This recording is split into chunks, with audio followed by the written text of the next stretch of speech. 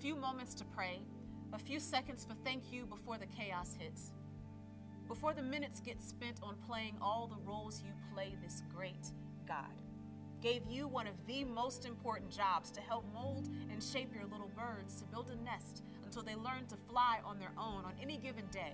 Your mom, wife, doctor, nurse, counselor, CEO, let mommy see where it hurts, coach and referee, disciplinarian, chef, event coordinator, accountant and creative, teacher, and attendee of tea parties many days.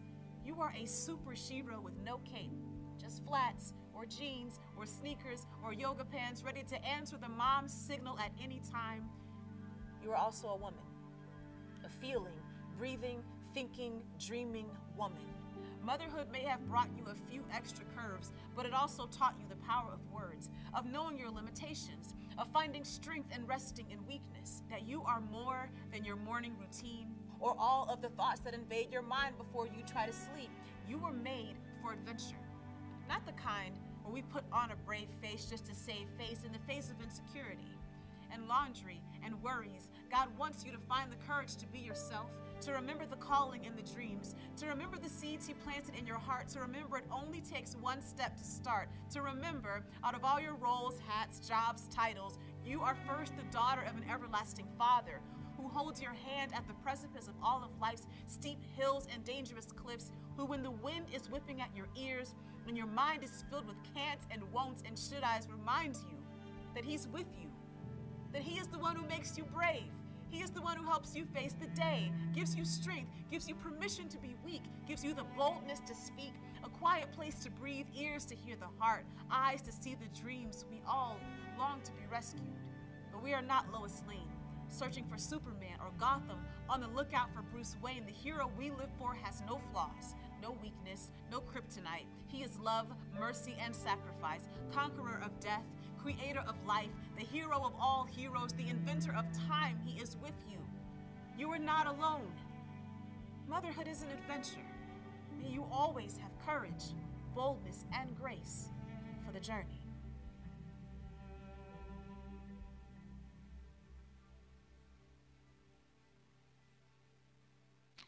Good morning. Uh, that video comes from our Mothers of Preschoolers uh, group. Uh, they meet on the second and fourth Tuesday of every month here as they wrap up their program year this coming uh, month. We uh, lift up Mother's Day this morning, and so I want to wish you a happy Mother's Day as well. I thought we'd start off with maybe a bit of a quiz this morning, find out if you know where Mother's Day comes from. Um, so uh, let's take a look at a few possible answers this morning. Here are three uh, possibilities. Did Mother's Day uh, come out of uh, Anna Jarvis, who organized Mother's Work Days back in 1858? Or was it in 1872 when Julia Ward Howe established a special day for mothers and for peace? Or just three possibilities here. Was it in 1914 when Congress passed a Mother's Day resolution pushed by Anna Jarvis, who happens to be Anne's daughter there from question A? So A, B, or C. And uh, whenever given a choice like that, the right answer is all of the above. No, it's always all of the above, right? With, with that much detail, you know the teacher is giving you the chance to say it's all of the above. All of those are uh, places where Mother's Day began. So, no matter what answer you gave, you are at least partially correct. I will give you full credit this morning. Uh, so, all of those are possibilities. Uh, let me just give you a little bit of uh, history on each one of those. Uh, Anna Jarvis. Um, no, I put it's it's Anne. This one's Anne. My bad on the PowerPoint. Anne Jarvis. There's her picture. She organized mothering clubs uh, in the Virginia area, the West Western Virginia area. And uh, she did it because she believed mothers had the power, like no one else, to improve social conditions. That if women learned what it was to make sure that uh, there was cleanliness in their communities and that the children were taken care of, that in fact whole communities could be improved. And so uh, she did great effort and great work. And then following the Civil War, she organized mothers' clubs to plant uh, flowers on the graves of fallen Civil War soldiers. And because of their location there in Virginia, Uh, both northern and southern mothers were a part of these clubs, and much of the healing of our country came about through the work of mothers following the Civil War. Uh, Julia Ward Howe, also known for her work during the Civil War, she wrote the Battle Hymn of the Republic. You know, glory, glory, hallelujah, I'm almost done with school. Not that version exactly. But we're gonna, we're gonna sing we're gonna sing a version coming up here in uh, 13 more school days to go. Uh, Memorial Day, we're gonna sing the Battle Hymn of the Republic. Uh, it was written by Julia Ward Howe. Uh, she also wrote an appeal to womanhood throughout the world, which later was uh, called the Mother's Day Proclamation. And so she invited women around the world to join for a day of mothers and for peace. Uh, and finally, uh, Anne uh, Jarvis, uh, who is uh, the daughter of Anna Jarvis, uh, lifted up her mother as someone who she thought people should honor. And so she wrote, I hope and pray that someone, sometime, will found a memorial Mother's Day commemorating her, her mother, for the matchless service she renders to humanity in every field of life, for she is entitled to it. And so uh, her daughter there, Anna Jarvis, worked hard to get the Mother's Day passed by Congress in 1914. Now, as a sad and tragic note, just so you know, uh, she eventually uh, gets arrested for protesting on Mother's Day because she thinks chocolate and cards are not at all what she envisioned would become uh, the work of Mother's Day. She wanted people to really honor their mothers and not just give them cards and flowers. Uh, she ends up working herself uh, literally to exhaustion, and she dies broken and penniless in a sanitarium uh, where the uh, Florist Association of America pays for her care. How's that for irony? Right? So, those three ladies and their work contribute to what we today call Mother's Day, held on the second Sunday of May every year. Uh, we're going to be talking about freedom today and next week and on Memorial Day weekend. And Mother's Day is connected to that Memorial Day celebration, uh, not only because both of them occur in May, but because without mothers, there would not be the effort to have a Memorial Day. And because mothers are the ones who best understand the sacrifices necessary to live out the freedom that God intended for us to have. And so we're going to be talking about freedom and the cause of freedom freedom for our children, freedom as followers of Christ, and on Memorial Day weekend, freedom within our country. Because freedom is one of those great gifts that we have as followers of Christ and as people who live in this great country that can too easily be misinterpreted or misunderstood. Uh, I want to encourage you to look at your sermon notes today. Uh, they're going to be designed the next couple of weeks to use for discussion, for Bible study, to use as small groups. Uh, even just that opening question. Uh, if, if you don't know how to start a conversation, I'm going to try to give you some icebreakers. And so, in your sermon guide this morning, uh, it just it asks you to simply name your mother and your grandmother. Uh, and it's amazing to me how many people have to sometimes work to remember those actual names. And so it's a way to honor those ladies in our life simply by remembering who they were. Uh, I also want to tell you that I want us to be people who are in prayer and preparation uh, to celebrate that freedom that we have from God and in our country on Memorial Day, as well as at the end of school. Getting done with school does not mean you are simply free to do whatever you want. It means you make plans for what God has next. And that bears a great deal of discipline and courage and preparation.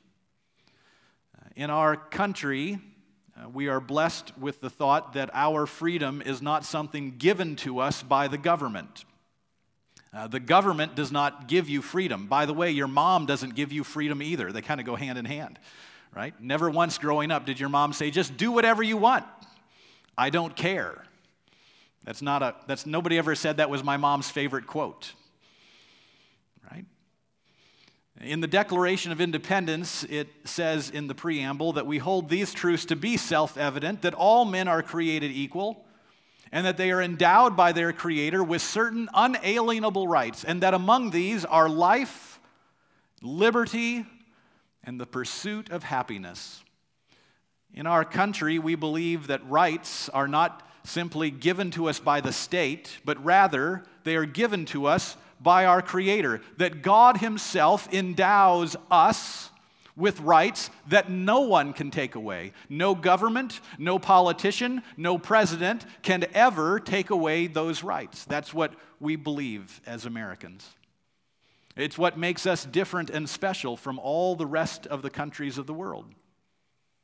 But in order for us to fully enjoy the freedom that we have, we must understand why those freedoms come from God. Uh, the freedom that I want to mention this morning is the freedom and also the right and also the responsibility to teach our children. Uh, freedom is not simply a standalone right. Freedom itself comes as something that has rights and then also responsibilities. No one teaches your children better than you do in your own house. Now, public schools cannot undo what you teach your children. And by the way, public schools can't fix what you get wrong with your children either. It's why homes are so important. It's why mothers are the first and greatest teachers their children ever have. And so when we talk about the freedom we have to teach our children, it comes both as a right given to you by God as well as a responsibility entrusted to us. Uh, the west end of our building is designed for our children and our youth. And our commitment to our children and to our youth is essential for why we celebrate the freedom that God has given to us teaching our children in Sunday school, on Wednesday evenings, on Sunday nights, in our homes, is a requirement for us in order to pass on the faith. If you come and worship on Sunday morning, but have never made a commitment to help with our children or our youth, you are missing the full responsibility of what it means to follow God. In the Old Testament, uh, God called upon his people to teach his children. In Deuteronomy chapter 6, uh, verses 4 through 7, it says this the foundational commandment of the Old Testament. Hear, O Israel, the Lord our God, the Lord is one. Love the Lord your God with all your heart, with all your soul, and with all your strength. These commandments that I give you today are to be upon your heart. Impress them on your children. Talk about them when you sit at home, and when you walk along the road, and when you lie down, and when you get up. For God's people, teaching our children was a constant duty, and nobody knows the constant duty of teaching better than mothers. Uh, there is no moment at which mothers get to punch the uh, off duty clock, right? There is no moment at which a mom says, Well, I'm, I do not care. At least there shouldn't be. Here, one of the great tragedies of our culture is when parents step back from their responsibility, is when we give up that freedom and therefore the right and then the responsibility to teach our children. Our children are always watching us. Uh, one uh, mother uh, talked about the day that she was at home trying to get some things cleaned. Uh, it was a Sunday afternoon, maybe a rainy day like today. Maybe some of you are, well, not today. Take your mom out to lunch today. Don't make her clean house today. Goodness gracious, right? Some other Sunday when mom was cleaning house, right? Her youngest child was there with her, and uh, you know she would try to sweep, and, and she'd have this little tag along behind her, and would trip over her, and, and she went out to the kitchen to clean, and a little tag along came behind her, and was constantly sort of in the way, and she finally said, "Would you, would you please give me some space? Stop following me." And her daughter said, Mom, at Sunday school, we learned that we should walk in the footsteps of Jesus. But I can't see Jesus, so I'm just going to follow you. Uh, there is not a moment in which we are not impressing our children on how they should live. There is not a moment in which we don't have that right or responsibility. And there is the freedom that we have in our country to know that our children belong to their parents. That's the freedom we have. Now, some days it doesn't seem very free to, free to do that. There's nothing free about children, nothing free about graduation, nothing free about much of anything. They estimate today that a child will cost you about a quarter of a million dollars from birth to 18 years old in diapers and formula and all that kind of stuff. So if any of you think that you know you, you, your mom and dad don't care, just let them give you the bill.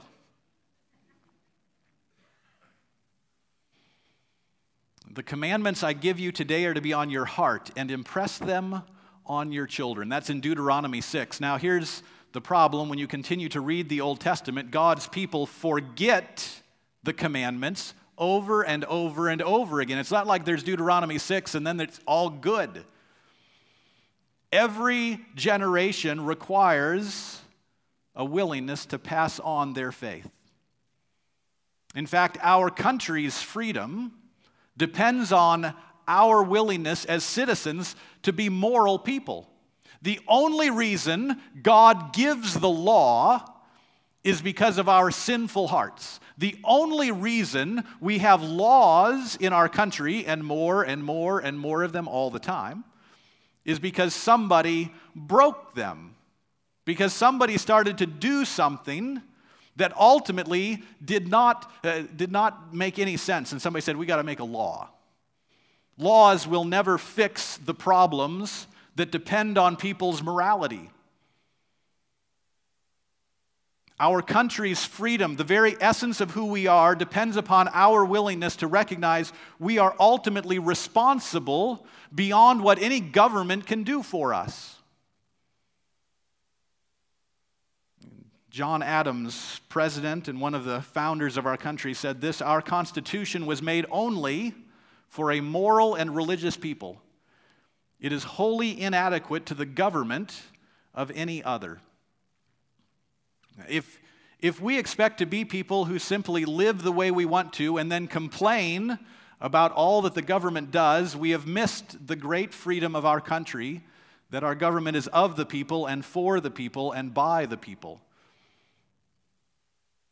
Our responsibility is to live as people who understand that our uh, great burden is not to simply fulfill the law. Right? Did you ever tell your kids, did you ever tell your kids, clean your room? Clean your room. Here's the law clean your room. Right? Maybe you made the mistake and you said, pick up the floor. I want to see this floor. And you walk in and everything's piled on the bed. then you got to say, now clean off your bed and then everything's in the hamper, and the hamper's like seven foot tall, filled with dirty clothes. You're like, now sort the clothes, and you end up with just piles out in the hallway. Oh. You can't make enough laws to make people do what they don't want to do. That's the constant struggle we have with freedom. Uh, freedom is not doing what you want to do. That is a bad definition of freedom. Doing what you want to do is too often sin or chaos. And so, one of the great discussions that we must have constantly together as a country and with our children is what does freedom look like? Because the devil would confuse us as to what freedom really means. Freedom for the devil is addiction, is anger, is fear, is loneliness. Freedom for the devil is to have everyone go their own way and do their own thing. Uh, did, you ever, did you ever have that moment in your house, maybe when you were younger or with a child, who you, the child finally said, That's it, I'm leaving? They pack themselves a peanut butter and jelly sandwich or something, or grab a bag and their suitcase, and they just walk out the door. You know, they get as far as the end of the driveway. And then they're like, now I don't know what I'm going to do. I have nowhere to go. Like what they thought was freedom is now absolute terror. What they thought was going to be freedom and solve the problem has now only made the problem worse. If you think freedom is running away from your problems, you have missed the freedom that God is calling us to.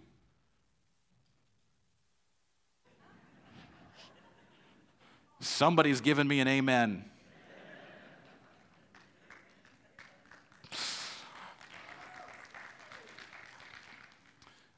Our ultimate freedom is found only in Christ.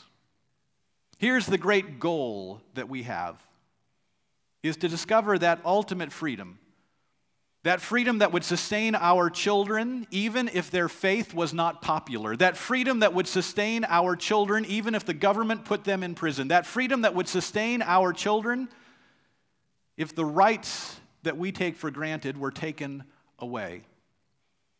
There are plenty of believers who don't live in our country who have found the freedom that only comes from Christ. In the Gospel of John, there are uh, several references to this freedom. John chapter 8 is the uh, very best one to study, and so we're going to look at a few of those verses here for a moment. In John chapter 8, starting in 31 and 32, uh, Jesus is having a conversation even with the Jews who had believed in him. And so, talking to them, Jesus said, If you hold to my teachings, you are really my disciples. Verse 32 Then you will know the truth, and the truth will set you free. We love that free part. The truth will set you free. Plenty of people love to get to that last line. They misquote that last line all the time. That's a terrible last line to stand all by itself. They just say, well, if you know the truth, the truth will set you free. But that is the conclusion to that if then statement that Jesus gives. Jesus begins by saying, If you hold to my teaching. Uh, the starting point for freedom is the teachings of Jesus. Uh, in our church, as a mission statement, we constantly hold out the goal that we should know Christ and make him known. If you truly want to be free, you have to know what Jesus teaches. You have to know what he says about how we treat one another and how we look to him and who he is. If you hold to my teaching. That is not an easy thing to do. And so we want to encourage you as you work through this series to spend time in your Bible, to ponder what this means, to be a part of Bible studies, and to really learn. Uh, our women's group coming up here, the Beth Moore study, uh, the Beth Moore study in the summer has become our largest single Bible study that we do as a congregation.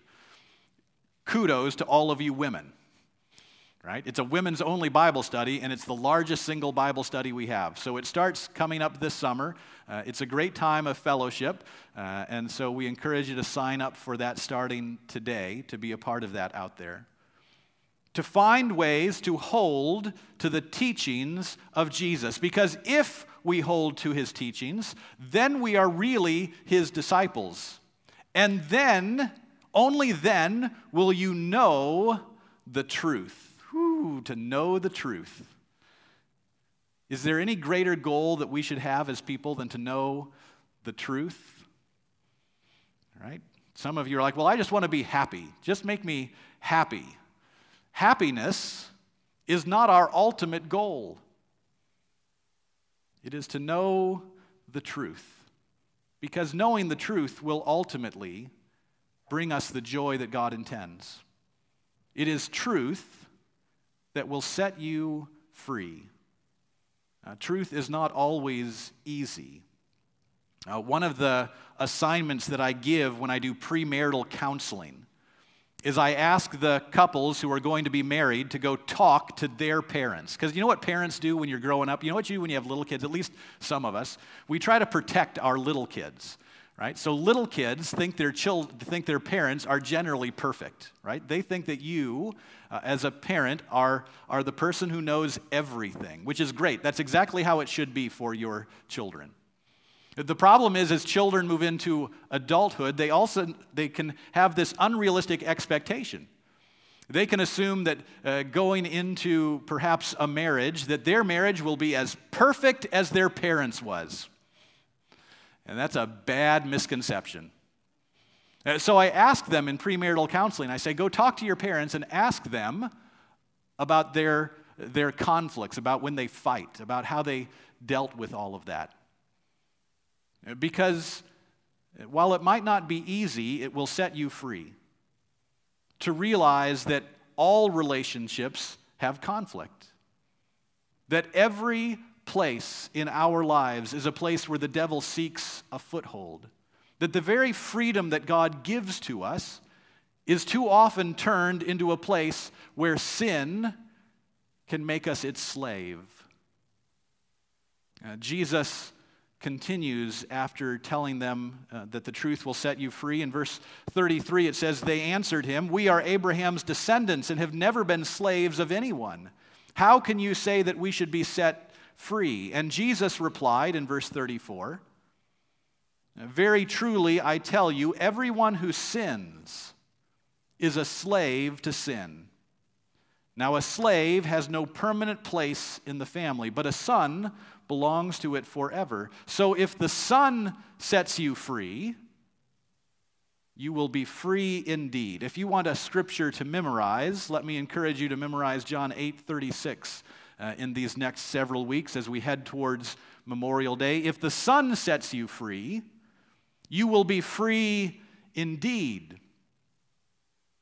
Uh, Memorial Day comes out of primarily the Civil War in our country when mothers in both the North and the South mourn the loss of their husbands and their sons and their grandsons to a greater degree than any other war since then.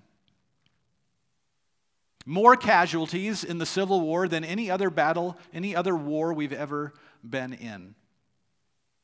And particularly for those of us who come out of that heritage in the North as believers it is essential for us to understand that the willingness of those sons and fathers to give their lives, the willingness of those mothers to send them to the battlefield, came out of the belief that God had ordained that all people should be free. That when we claimed as a country that we are uh, given inalienable rights by our Creator, that all people had those rights, that all people knew that same divine spark within them. Freedom did not mean that they did nothing. In fact, freedom meant that they would be willing to die to set others free themselves. That is quite a sacrifice. And mothers understood better than any the depth of that sacrifice that was made. Uh, today is the day that most phone calls, the, the highest level of phone calls is made from prison. Did you know that? The highest level of phone calls is made from prison today. Urban, urban legend says the lowest number of phone calls is made on Father's Day. Uh, the influence of mothers could not be overstated. The desire of mothers is to see their children know life and liberty, truth, and the pursuit of happiness. And so, flowers today are for our mothers, for all of those who raised us and who gave us life. The flowers that we'll put up on the altar in a few weeks on Memorial Day are from the heart of mothers and all of those who would honor the sacrifices that our soldiers have made across the years. Uh, Joyce Pinard came in earlier this week and already turned in her uh, flower uh, card for us.